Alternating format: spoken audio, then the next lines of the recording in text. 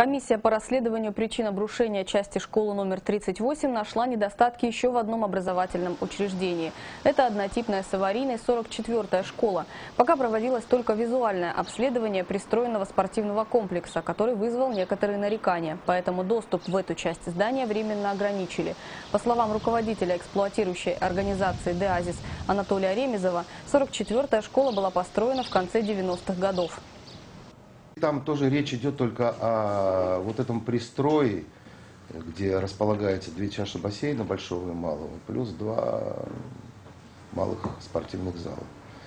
Ну и то, я говорю, состояние не аварийное, а предупредительное.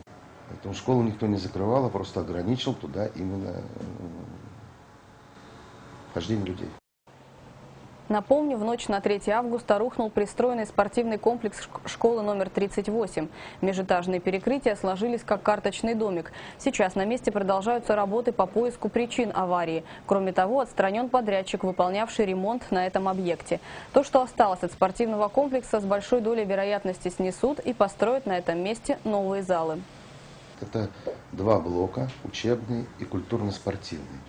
Так вот, культурно-спортивный блок, он подразумевает еще и пристрой к нему.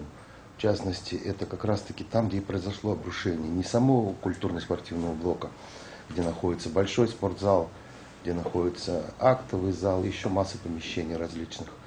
А пристроя к культурно-спортивному блоку это две чаши бассейна, большая и малая, и два малых спортивных зала.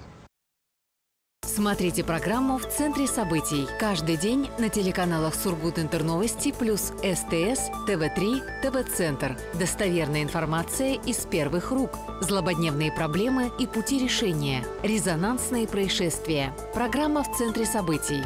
Каждый день.